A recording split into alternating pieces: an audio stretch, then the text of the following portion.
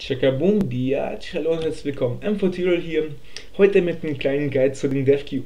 DevCube ist äh, zu haben seit Update 8, genauso wie Frost Prime. Das ist eine neue Warframe-Rüstung. Kriegt er meistens in diesen Origin-Türmen. Und hier sehen wir schon gleich, ähm, genauso wie bei den anderen Wächter, haben wir vier Polaritäten. Seine Polarität ist eher so, ja, nennen wir sie mal Gebot.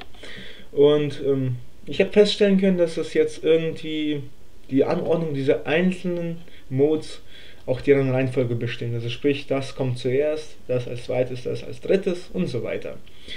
Also dachte ich mir, okay, gut, ähm, guckst du mal ein bisschen rum, was ist für dich das Beste? Für mich war das Beste, dass ich erstmal Schildregeneration ein bisschen hochpushe, also sprich erstmal Wächter, danach Vaporize, wobei es nichts weiter ist als, als ein etwas äh, stärkerer Laser Beamschlag, sage ich mal, der die Gegner blendet. Dann haben wir halt einmal Erneuerung und dann nochmal zum Schluss halt Switch Swift Death. So, was ist, sind hier die, Neu die Neuerungen? Diese neue Mode, sieht man daran, dass es noch nicht in solche übersetzt worden ist. Äh, der, den habe ich ja eigentlich schon erklärt, der, ist, der macht sehr starken Schaden, muss ich gestehen, und äh, sollte wirklich vielleicht sogar noch am Anfang benutzen, weil ihr damit die Gegner lahmlegen könnt, schneller tötet. Ich habe ja zurzeit Ember als äh, meine Warframe und die hat eine geringe Rüstung, dementsprechend habe ich Wächter reingeknallt.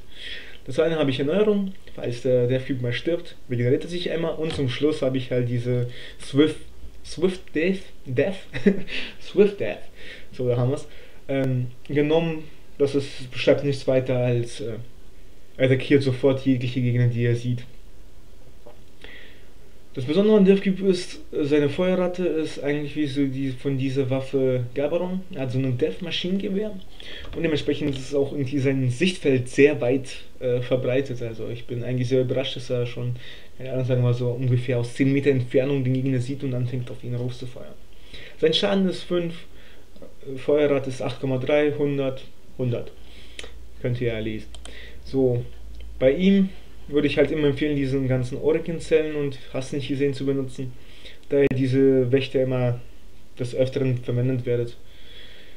Ich für meinen Teil habe erstmal meine anderen erstmal so auf Level 28, da habe ich mir immer so einen neuen geholt.